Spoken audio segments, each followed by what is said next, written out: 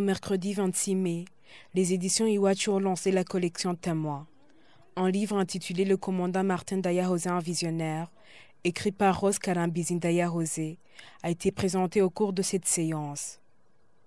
Présenté par le professeur Fabien Chichahayo, il a exposé devant des intellectuels, étudiants et journalistes présents dans la salle les raisons de la publication de cet ouvrage par la veuve Ndaya José. Au fond, ce que veut Rose dans ce livre, c'est réhabiliter la mémoire de son mari. Et au-delà de son mari, de la mémoire de toutes les victimes de nos tragédies, la mémoire de tous ceux qui sont, pour, utiliser les termes de Primo Levi, la mémoire de tous les naufragés, de tous ceux qui sont partis, et euh, une mémoire qui n'a jamais été lavée, qui n'a jamais été nettoyée.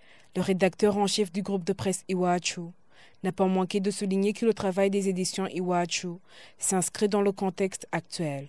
C'est pour enrichir la documentation sur l'histoire récente de notre pays.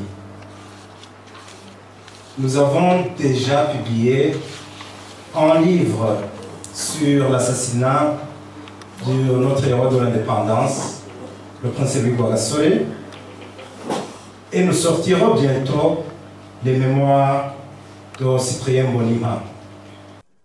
Des extraits de ce livre de 212 pages ont été partagés durant la présentation. Ce sont aussi certains responsables insatiables qui, pour faire aboutir leurs ambitions inavouables, font de la division ethnique une stratégie politique. Alors s'ils sont Tutsis, ils dénoncent au besoin avec complot tactique à l'appui, en péril Hutu à contrer. S'ils sont Hutus, ils dévoilent un apartheid Tutsi à combattre. Et cela s'orchestre avec une mise en scène diabolique pour que le sentiment prenne le pas sur la raison. Après la projection de l'interview exclusive de Madame Daya José par le professeur Chichahayo, des questions et critiques ont été adressées au présentateur. Tout en saluant le travail des éditions Iwachu, Monseigneur Jean-Louis Nahimana, président de la commission Vérité et Réconciliation, rappelle que ce livre est publié à un moment opportun. Les grands témoins, justement, euh, qui ont assisté à ce, que, ce qui s'est passé dans ce pays euh, sont en train de disparaître.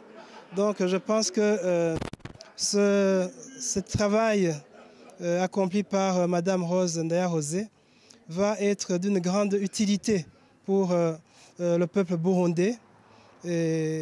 Mais aussi, je suis très édifié, d'autant plus édifié par cette initiative parce que ça nous prouve encore une fois de plus que euh, la vérité est possible, qu'on peut connaître la vérité. Après un mot de remerciement aux intervenants, Léandre Sekouya a rappelé que cet ouvrage est disponible aux éditions Iwachu.